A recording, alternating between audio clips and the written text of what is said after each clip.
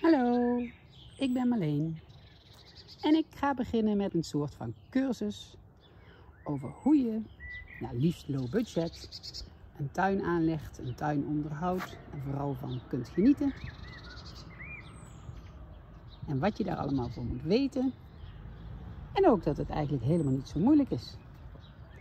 Ik laat jullie eerst even onze tuin zien, voor ik met de eerste les begin. Wij hebben een hele grote tuin en we wonen hier nu 23 jaar op een oude boerderij. Kijk, die boerderij is 140 jaar oud.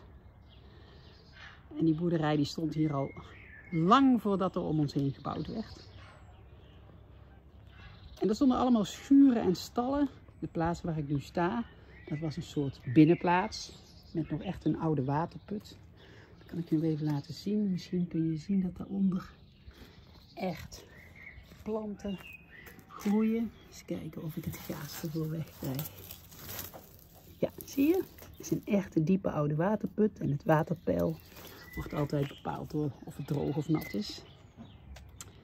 En wij zijn dus begonnen met eerst die stallen allemaal en de schuren die er waren te slopen en weg te halen. En ik zal altijd na elke les zal ik aan het eind een aantal foto's zetten, zodat je kunt zien hoe het was en hoe het is. Want wij zijn nu dus begonnen op een maanlandschap. En alles wat je hier ziet, dat was het dus niet. Alleen maar de boerderij. De enige boom die er al stond, was een van de drie oude lindenbomen. Hier zie je hem staan. Die zetten ze vroeger vaak met z'n drieën op een rij. Maar de lindenboom is nu zo oud en in de oksels rot hij helemaal. Dus dit is het laatste seizoen dat hij hier zal staan. Nou, leuk dat jullie dat nog net zien. Maar ja, zoals het nou één keer in het leven ook gaat. En alles komt een einde. Ziektes komen ook voor. Wij kennen corona, maar in de tuin zijn er ook allerlei ziektes. En als je gaat tuinieren, dan moet je daar gewoon rekening mee houden. Dat moet je ook niet zo heel erg vinden. Dan plant je weer iets nieuws. En uh, vandaag ga ik beginnen met de eerste les, tevens de belangrijkste eigenlijk. Dat gaat namelijk over de bodem, de grond. Want waar je ook begint te tuinieren, of dat je al een bestaande tuin hebt, het allerbelangrijkste speelt zich af onder de grond.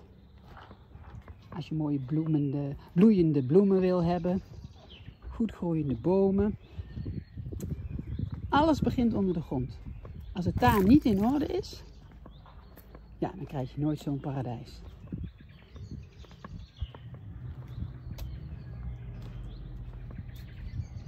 Nou, alle bomen die hier staan, die heb ik iedere keer als ik jarig ben in november, dan vraag ik een boom op mijn verjaardag. Dus ze hebben allemaal verschillende leeftijden. De ene is al groot, de andere nog niet. Hier komen we op het zuidterras. Nou, ik zal een les besteden aan de indeling van je tuin, een les aan gras en hoe je dat onderhoudt. Een les over hoe zaai ik een bloementuin in. Een les over compost. Een les over de vijver. Een les over bomen. Een les over de dieren die in je tuin komen. Kijk, hier hebben we allemaal solitaire bijen. Nadat ik een paar jaar geleden begonnen ben met uh, bloemen inzaaien. En bloementuinen zijn er allemaal weer veel bij in onze tuin gekomen. Nou, maar ik ga beginnen over de grond. De bodem. De bodem die heeft een capillaire werking, zoals dat heet.